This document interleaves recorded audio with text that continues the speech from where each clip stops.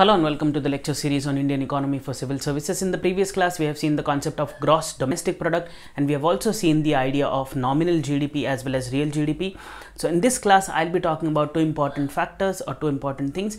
One is called as the GDP at market price or the concept of market price as well as GDP at factor cost or the concept of factor cost. So let's get started.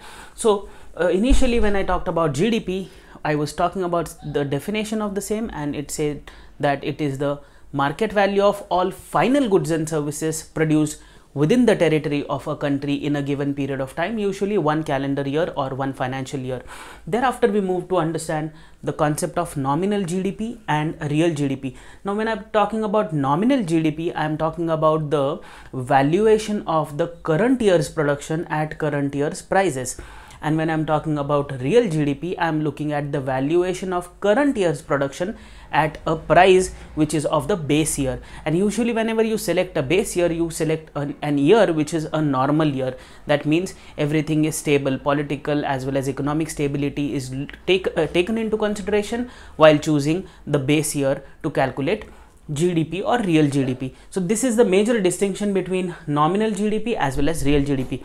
Today I'll be talking about a concept which is related to calculating GDP with respect to market prices as well as calculating GDP with respect to factor costs and therefore we have to understand first what market prices means and then move towards understanding something called as factor costs. So what do you understand by market price? The market prices refers to the actual transacted price and it includes I am here incorporating the indirect taxes. Now there were uh, a lot of indirect taxes but now we have GST but it includes customs duty excise duty sales tax service tax and all of that. So here market price particularly means the actual transacted price. Here i'm looking at the price which also incorporates something called as indirect taxes. And whenever i'm looking at the calculation of gdp at market prices it is given by the following formula. That means gdp at market price is equal to gdp at factor cost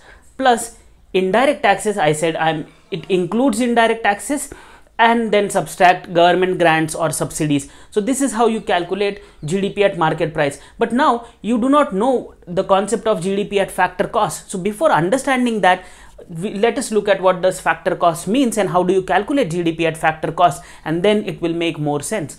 So whenever I'm looking at factor cost, it refers to the actual cost of various factors of production and it includes government grants and subsidies but it excludes indirect taxes. So here I am looking at the actual cost of factors of production. Now there are factors of land, labor, capital and entrepreneur and the underlying costs associated with the same with land it is rent with labor labor it is wages with capital it is interest and with respect to entrepreneur it is profit in economics profit is denoted by pi. And here I can alternatively use small r to denote the uh, the the rate of interest to be paid. Yeah? So it is talking about factor cost is talking about the actual cost of various factors of production. And what is the actual cost? It is the summation of all of these if i'm using all of these factors. And it includes apart from this in, it includes government grants and sub, sub, subsidies but it excludes indirect taxes which i talked about when i was talking about market price. Indirect taxes meaning thereby all the gst component. So it excludes that. And therefore now let us look at how you calculate gdp i hope the idea of factor cost is pretty much clear. Here i'm looking at cost. Here i'm looking at prices actual transacted prices here I am looking at actual cost of various factors of production. These are my four factors of production and the costs associated with the same are these rent, wages, uh, uh, rate of interest and profits. So this is how you look at the concept of market prices, price here factor cost i'm talking about the costs associated with the same and let us look at now the formula for calculating gdp at factor cost so gdp at factor cost is equal to gdp at market price minus the indirect taxes because here I am excluding the indirect taxes plus the subsidies that is government grants and subsidies. I'll be talking about uh, the government grants as well as subsidies in my upcoming lectures. Or to be very precise you call them to be something called as transfer payments as well. But i'll talk about that in in greater details uh, transfer payments effectively talk about pensions scholarships and all of that. But in in a sense i'll cover everything that is government grants as well as subsidies as well as transfer payments in my upcoming lectures. So this is how you look at the concept of market prices. It is the actually transacted price.